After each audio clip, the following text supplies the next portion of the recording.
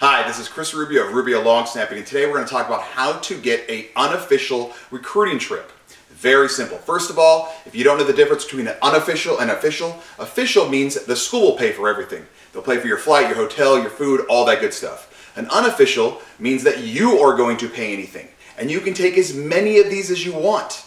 Take 37. No one cares. Take as many as you want. It's very, very easy. The easiest thing to do is just call the football operations, the office, and just say, "Hi, my name is John Smith. I'd like to become uh, get an unofficial recruiting trip for this weekend's game."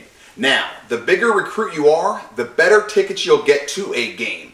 If you're not that big a recruit, don't ask for a rivalry game. You're not going to get it.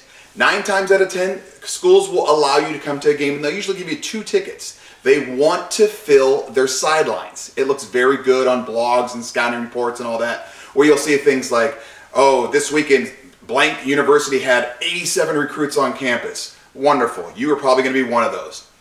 If you are thin, wear bulky clothes. If you are a little overweight, don't wear too tight of clothes. Okay, you want to show off your body, so to speak. This is going to be your first time when you go to the coach and they can see whether or not you're going to pass an eyeball test. Basically, they're going to look you up and down, maybe even pat you on the shoulder, just to see how well you're put together. Um, this also brings up the point of parents.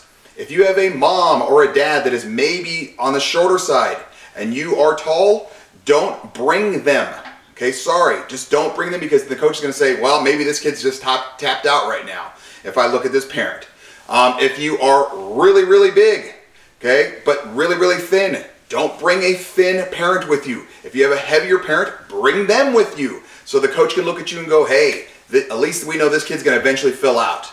Um, hope that helps. If you guys have any questions, feel free to contact me. All information is on rubiolongsnapping.com, and if you like this, feel free to share it all across social media.